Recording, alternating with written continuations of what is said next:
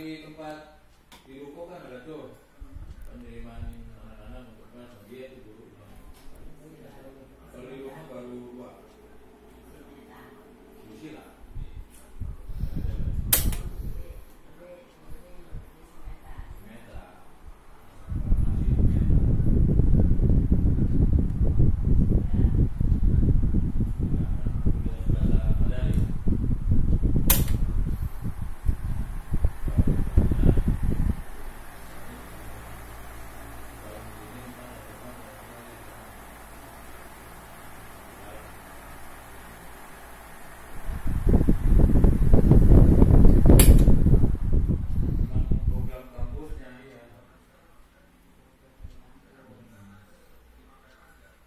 Iya.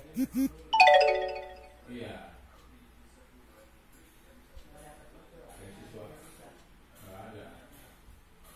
Itu melamar di